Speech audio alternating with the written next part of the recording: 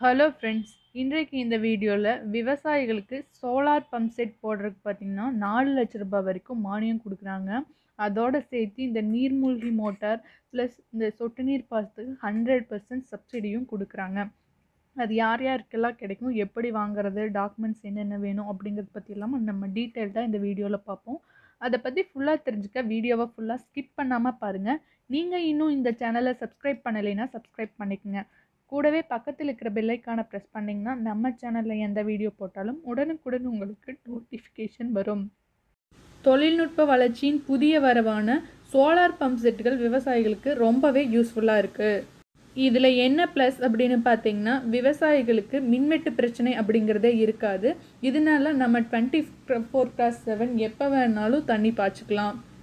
So இதனால் Tamil Nadu government பார்த்திங்கன்னா விவசாயிக்கு மானியத்துடன் கூடிய சோலார் பம்ப் செட்களை வழங்க முடிவு பண்ணியிருக்காங்க.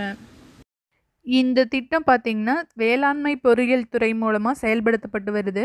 இதில் பார்த்திங்கன்னா இந்த சோலார் பம்ப் செட் பேனல் போகிறதுக்கு ஆகிற செலவில் எயிட்டி பர்சன்ட் வந்து தமிழ்நாடு கவர்மெண்ட்டே ஏற்றுப்பாங்க இருபது சதவீதம் மட்டும் இந்த விவசாயிகள் செலுத்தினா போதும். இந்த திட்டத்தில் ஜாயின் பண்ணுறவங்களுக்கு பார்த்திங்கன்னா வெயில் நேரத்தில் சூரிய சக்தி மூலமாக கரண்ட்டை உற்பத்தி பண்ணுற சோலார் பேனல்கள் வந்து வயல்களை நிறுவுவாங்க. அது கூடவே சேர்ந்து பார்த்திங்கன்னா ஃபைவ் ஹெச்பி பவர் இருக்கிற ஒரு நீர்மூழ்கி மோட்டாரும் கொடுப்பாங்க. இதில் பார்த்திங்கன்னா சோலார் பேனல் அமைக்கிறதுக்கு நீங்கள் சாதாரண நார்மலான ஓப்பன் டைப்பில் இருக்கிற கிணறுக்கும் வாங்கிக்கலாம். ப்ளஸ் போர்வெல்லுக்கும் நீங்கள் வாங்கிக்கலாம். ரெண்டுக்குமே இந்த ஸ்கீமில் அப்ளை பண்ணி வாங்கிக்கலாம். சப்போஸ் உங்களுக்கு போர்வெல்க்கு இந்த சோலார் பம்ப் செட் தேவைப்படுது அப்படின்னா அதுக்கு ஃபிட் பண்ணுறதுக்கான எக்யூப்மெண்ட்ஸோட காஸ்ட் எவ்வளோ ஆகுதுன்னு பார்த்தீங்கன்னா நாலு லட்சத்தி முப்பத்தொம்பதாயிரத்தி தொள்ளாயிரத்தி ஐம்பது ரூபா ஆகுது. இதில் விவசாயிகள் எவ்வளோ பே பண்ணணும் அப்படின்னு பார்த்தீங்கன்னா ஒரு லட்சத்தி நாலாயிரத்தி எழுநூற்றம்பது ரூபா மட்டும் அதாவது ஒரு லட்சத்தி ஐயாயிரம் மட்டும் நீங்கள் பே பண்ணால் போதும். மீத இருக்கிற தொகை பார்த்திங்கன்னா கவர்மெண்ட்டே மானியமாக கொடுத்துருவாங்க. சப்போஸ் நீங்கள் கிணத்துக்கு இந்த சோலார் பம்ப் செட் மாட்டணும் அப்படின்னு நினைக்கிறீங்கன்னா அதுக்கு எவ்வளோ செலவாகுதுன்னு பார்த்தீங்கன்னா அஞ்சு லட்சத்தி ஆயிரத்தி ஐநூற்றி பன்னெண்டு ரூபா செலவாகுது. இதில் இருபது பர்சன்ட் எவ்வளோன்னு பார்த்தீங்கன்னா ஒரு லட்சத்தி பதினேழாயிரம் வந்து விவசாயிகள் பே பண்ணால் போதும். மீதம் இருக்கிற காசு வந்து கவர்மெண்ட்டே பே பண்ணிடுது.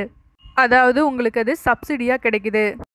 சப்போஸ் நீங்கள் ஏற்கனவே உங்களுக்கு போர்வெல் அல்லது கிணறு இருக்குது அப்படின்னா எப்படி அப்ளை பண்ணணும்னு பார்த்தீங்கன்னா நீங்கள் தான் அந்த லேண்டோட ஓனர் உரிமையாளர் அப்படிங்கிறதுக்கான ஒரு சர்டிஃபிகேட் எடுத்துகிட்டு போய் நீங்கள் வேளாண்மை துறை அல்லது தோட்டக்கலைத்துறை அல்லது வேளாண் பொறியியல் துறை அலுவலகத்தை நே டேரெக்டாக காண்டாக்ட் பண்ணணும். அப்படி டேரெக்டாக காண்டாக்ட் பண்ணி இந்த சோலார் பம்ப் செட் வேணும் அப்படின்னு சொல்லிட்டு நீங்கள் அப்ளிகேஷன் ஃபில் பண்ணி கொடுக்கணும்.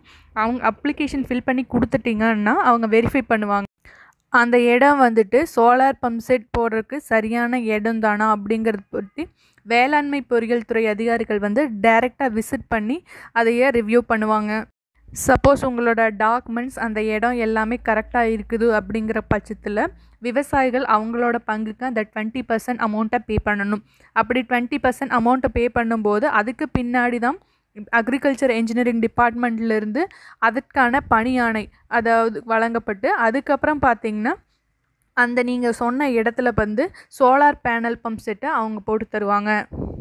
இந்த சோலார் பம்ப் செட் மூலமாக கிடைக்கிற தண்ணீரை பார்த்திங்கன்னா சொட்டு நீர் பாசனம் அல்லது தெளிப்பு நீர் பாசனம் முறையில் தான் வயலுக்கு பாய்ச்சணும்.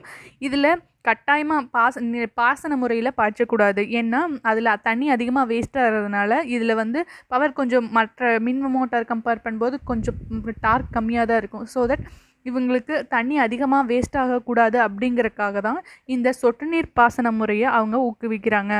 அதுலேயும் பார்த்தீங்கன்னா சொட்டு நீர் பாசனம் போ சொட்டு நீர் போடுறதுக்கு சிறு குறு விவசாயம் தான் ஹண்ட்ரட் பர்சன்ட் சப்சிடி கொடுக்குறாங்க. அதாவது எவ்வளோ செலவானாலும் கவர்மெண்ட்டே ஏற்றுப்பாங்க இதே பெரு விவசாயியாக இருந்ததுன்னா ஐந்து ஏக்கருக்கு மேலே இருக்குது அப்படின்னா அவங்களுக்கு வந்து செவன்ட்டி ஃபைவ் பர்சன்ட் வந்து கவர்மெண்ட் சப்சிடியாக கொடுத்துட்றாங்க. டுவெண்ட்டி ஃபைவ் பர்சன்ட் மட்டும் நீங்கள் பே பண்ணால் போதும்.